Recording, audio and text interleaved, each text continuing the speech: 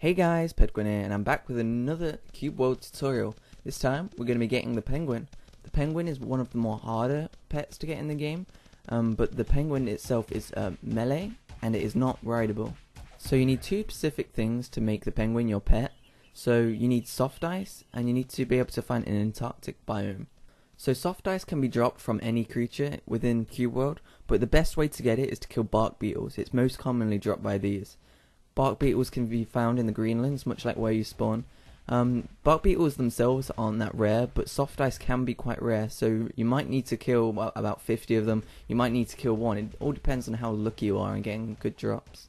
Okay, so once you've got the soft ice, you need to be able to find the Antarctic biome. Every world has an Antarctic biome, but if you guys are struggling, you can uh, have the same seed I'm using. The seed I'm using is 100, and to find the biome, you just have to head southwest from the first city you find. Just keep heading southwest. It may be a long walk, but you'll get there eventually. Penguins sometimes can be hard to find, even though they are common. Um, but if you have a glider or a mount, you should be able to find them in no time. Once you've found your penguin buddy, all you have to do is right click the uh, soft ice and the penguin will come running up to you. After he's nommed it all down, he will love you forever and always. If your penguin dies, he'll come back to life and always be with you.